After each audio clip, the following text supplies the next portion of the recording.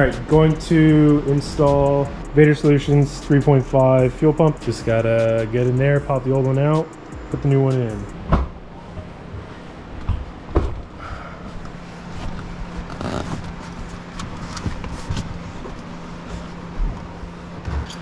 Well, some stuff here. The Legos. Oh, it's looking for this.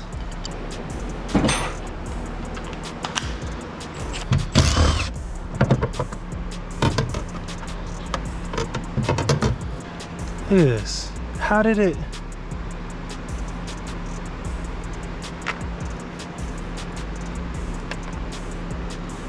That's crazy.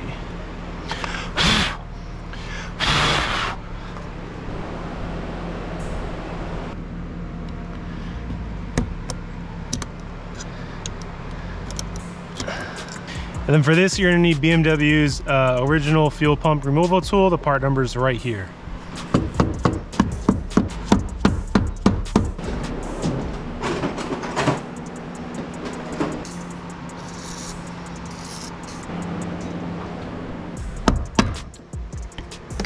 Ta-da!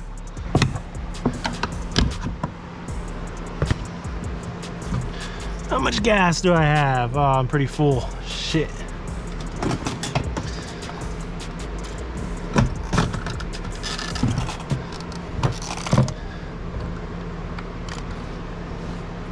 Apparently you turn this sideways. Got the uh, OEM fuel pump out. Really just have to disconnect this one sensor that goes over to the, the uh, fuel regulator side, which is right here. And uh, in goes the Vader Solutions one. So I just talked to Omar, the Vader Solution one, Stage 3 Plus, is an OEM pump and a uh, Hellcat one. I think, I thought the Hellcat one is a 525, but uh, can't recall right now. But it should be good for a thousand with port injection, so I'm going to not let this fall. Get this fucking line out the way. Gonna get this hooked up.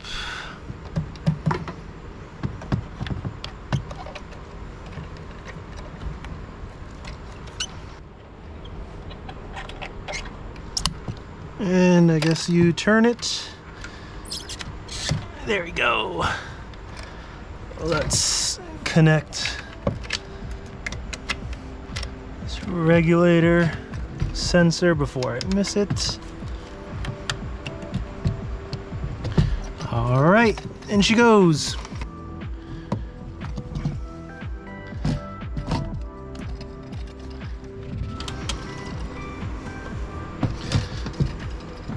Almost. Ah, there you go. All right, I was messing with it for a while and I'm not sure if it's just how mine was uh, seated. Oh my God, look at that. I forgot to put this. Put this on again. Kind of have to put a lot of pressure down. I guess like to bend that little springed area. So let's make sure the O-ring is still there, yep. So I wasn't trying to force it, but there we go. All right, let's get these gas covered rags out. And let's use big ones. There we go. Got that closed up. Uh, hob harness goes here. I guess I control the second pump. Uh, Got to pull this guy out and put the new E85 line. Now the time to go under the car. All right, so trying to route this E85 line.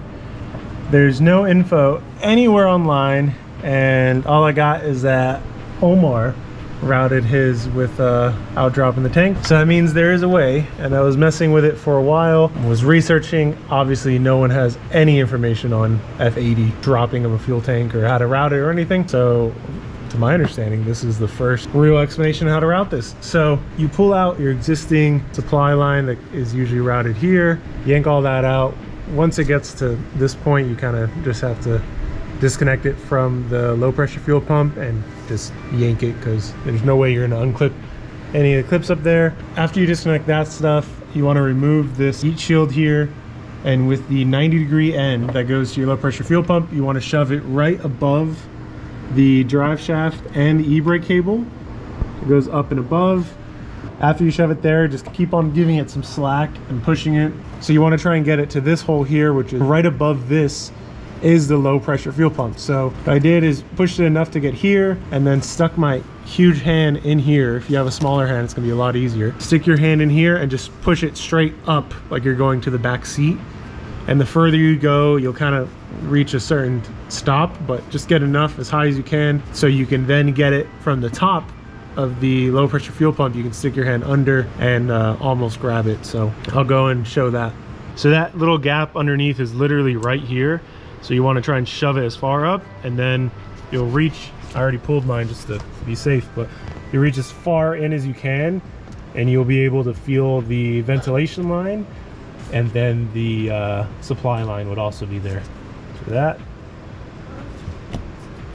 I also forgot to mention that you're going to want to at least lower the fuel tank.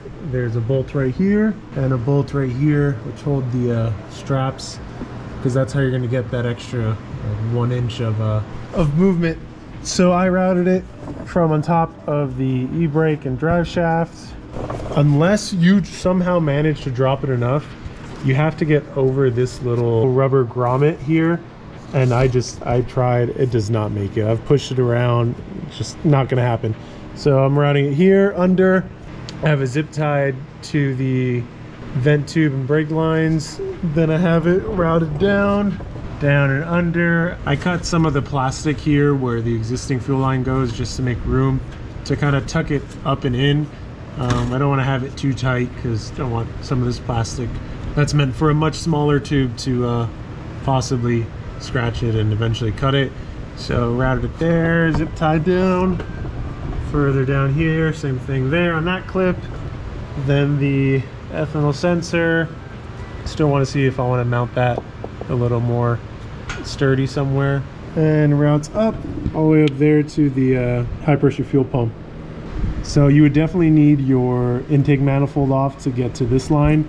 So it'll be a little easier to get to once everything's off, but you can also tighten it from down here. And yeah, just have to route the wiring for the ethanol sensor and then uh, all the panels go back on.